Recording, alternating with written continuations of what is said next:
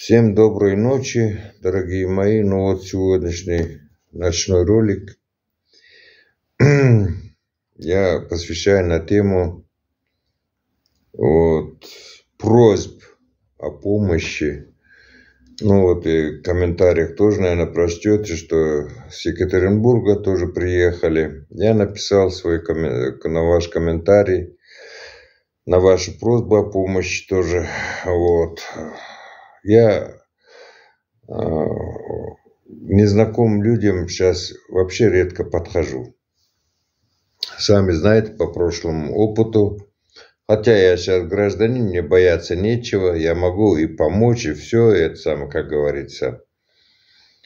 Вот. Но все, все-таки все равно есть такое это, что э, у наших людей Э, такое э, красивые такие слова есть, которые отблагодарим, э, все будет нормально. Вот. В общем, вот такие вот эти обнадеживающие эти, которые, за которыми ничего не стоят, не стоит, уже это уже в прошлом надо оставлять. За любую помощь, я уже говорил вам, надо платить. И платить заранее. Заранее. Утром стулья, вечером деньги. Вечером деньги, утром стулья. Вот так вот. Ну и теперь второе, опять же, опять же у меня, кроме вас, мне еще трое просят сейчас. Вчера звонили, сегодня звонили. Я уже вам сказал, что со мной можно связаться по Фейсбуку. У меня есть там страница. Кто хочет, меня находит. Вот. А там мессенджер, сами знаете, легко. вот. И что хочу сказать, опять же, по выбору жилья, по покупке жилья. Сейчас времена совсем другие. И дело даже вовсе не в цене, или в чем-то другом, а в том, что э, сейчас иностранец, иностранец э, любое жилье в любом районе купить не может. Понимаете? Только в открытых районах. В открытых районах вы оплачиваете ту сумму, которая необходима для получения ВНЖ, чтобы квартира была такая, чтобы и в ТАПу, чтобы была указана эта же сумма, только после этого вы получаете ВНЖ по ТАПу. А то, что продавцы, продавцы квартир, риэлторы, им не важно, вы получите ВНЖ или нет. Их это не волнует. Они могут вам сказать, да, все нормально, вы только купите. Вы купите квартиру и пойдете подавать на ВНЖ, и вам откажут. Понимаете, вам просто-напросто откажут. И все, потому что окажется, что ваша квартира в закрытом районе. Все. И в Анкаре тоже такие районы есть. Я уже выставлял, у меня в сообществе есть даже районы, да, даже, но даже, даже дело не в этом. Опять же хочу сказать, что если вы иностранец, вот, все равно захотят на вас наживаться. Если у вас рядом не будет э, своего человека, который бы разобрался бы что к чему, это раз. Во-вторых, вот вы написали, что помогите. Это не только помощь, это услуга, это работа целая, чтобы вам подобрать квартиру в таком районе, котором бы вам дали ВНЖ. Понимаете? Это раз. Во-вторых, чтобы квартира соответствовала тем деньгам, которые вы оплачиваете. Чтобы у квартиры не было никаких проблем. Понимаете, чтобы и соседи были нормальные, и все. Это, конечно, само собой, и соседи все равно, это должно быть все учтено. Это целый труд адский. И этот ваш человек, который вам будет помогать, он должен везде ходить за вас или с вами ходить узнавать, стоит ли в этом районе покупать. После того, когда к продавцу пришли, посмотрели квартиру, даже понравилось, уже после этого сходить в соответствующей организации, узнать, что в этом районе, если вы покупаете квартиру, дают ли железно 100% ВНЖ или нет. Понимаете? Это очень такой труд. Поэтому я хочу сразу сказать, что я незнакомым людям вообще даже не подхожу. Вот. Агентств много. Здесь, здесь на каждом углу, можно сказать, даже агентство. Но я сразу хочу вам сказать, потому что все-таки, видимо, вы мой подписчик. Вот. Э, будьте осторожны. В чем? Я уже говорил вам, что вам риэлтора скажет, да, купите, самое главное, все будет нормально. Но большинство риэлторов не только не заинтересованы, чтобы вам дадут ВНЖ вам или не дадут, они заинтересованы, чтобы вам продать. Но они еще не информированы о том, что в каком районе дают ВНЖ или нет. Понимаете, у них отсутствует абсолютная информация. Понимаете?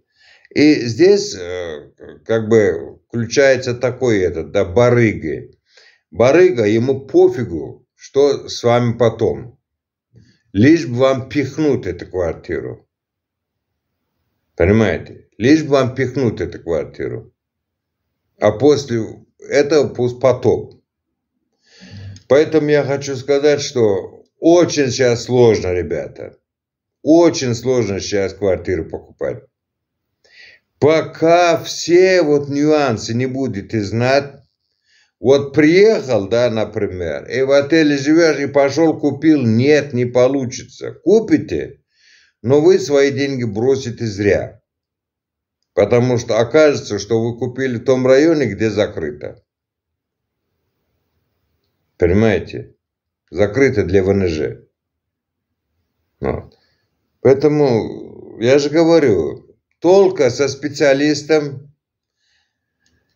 тут не только один специалист, там тут два-три специалиста, один должен дать консультации, именно дает ли в том районе, железно ли, чтобы это люди, это, чтобы совпали с запросом миграционной службы.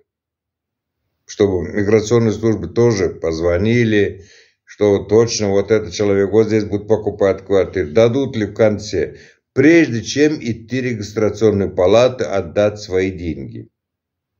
Это все должно быть железно. Понимаете? Потом вам, когда откажут после того, как вы купили квартиру, заново эту квартиру продать и получить свои деньги, у вас быстро ничего не получится.